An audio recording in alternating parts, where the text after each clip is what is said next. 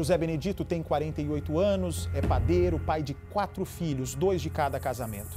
No dia 5 de maio, ele sai de casa para ir ao mercado. Não levou celular nem documento, só dinheiro, porque ia ser muito rápido.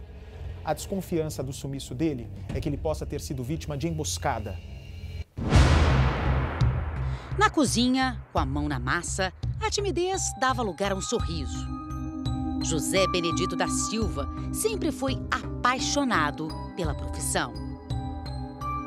Ele fazia salgados, ele fazia pão, ele fazia de tudo ali. Era padeiro e confeiteiro. E gostava? Gostava, a profissão dele mesmo. Não à toa, o padeiro de 48 anos de idade tinha 20 só de experiência na área. Dedicação reconhecida não só no trabalho, mas em casa. É o que afirma esta mulher, que faz parte da família. Segundo ela, José não tinha motivos para desaparecer, a não ser que fosse contra sua vontade. A revolta. Saber o que está agora, o que está acontecendo. Está muito difícil, viu? Ele sempre foi um bom pai. Nossa, todo mundo aqui assim do bairro ele passando com as crianças, muito bem cuidada, sabe? Nunca deixou faltar nada. Fe fez o que pôde, até na segunda-feira. Paizão. É como todos da vizinhança definem José. O padeiro tem quatro filhos, dois do primeiro casamento e os outros dois do segundo. Até o dia do desaparecimento, ele vivia nesta casa, com a mulher, Daniela, e os caçulas, que ainda são menores de idade.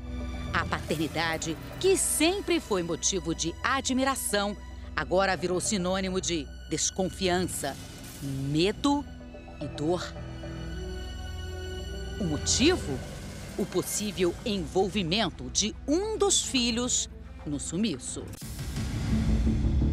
Esta é Fernanda Patrícia da Silva, de 31 anos, filha do primeiro casamento de José.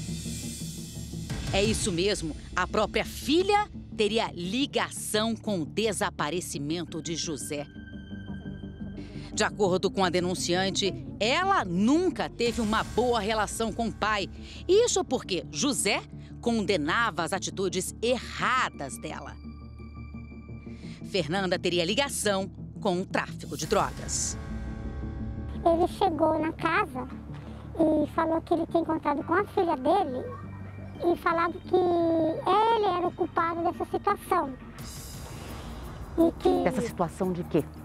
Dela ser o que ela é agora. Entendeu? Mexer com drogas. Sim. E ele pegou e chegou na casa e comentou com a mulher dele sobre isso. E falou, eu não tenho uma notícia boa. Eu não tenho uma notícia boa, que foi essa. A filha dele está morando próximo aqui. Dia 5 de maio, última terça-feira, por volta das 3 horas da tarde. José deixou a casa dele, abriu este portão aqui, olha só, que está fechado. A família está lá, não quer nos receber. Isso porque todos ainda estão muito abalados. Mas, segundo familiares, e também moradores, José teria deixado a casa dele por volta das três horas da tarde da última terça-feira. Ele saiu de bermuda, a camiseta, boné, apenas com o dinheiro em mãos. Não levou celular, nem os documentos pessoais. Isso porque ele voltaria muito rápido. Saiu apenas para comprar alguns biscoitos, algumas coisas para as crianças num supermercado que fica bem perto da casa dele. Ele fez exatamente este trajeto. Abriu o portão, percorreu esta rua aqui, Baiano mostra para mim, lá na frente, e seguiu por esta rua até o supermercado. Ele vivia com a esposa e as duas crianças, que são menores de idade. Então, esse paizão percorreu essa rua para comprar as coisas das crianças. Agora, o problema é que ele havia dito que voltaria muito rápido. E não foi isso que aconteceu. Até o momento, a família não tem notícias sobre o paradeiro de José. E eles acreditam que aquelas ameaças que teriam sido feitas pela própria filha dele uma semana antes, isso teria se concretizado.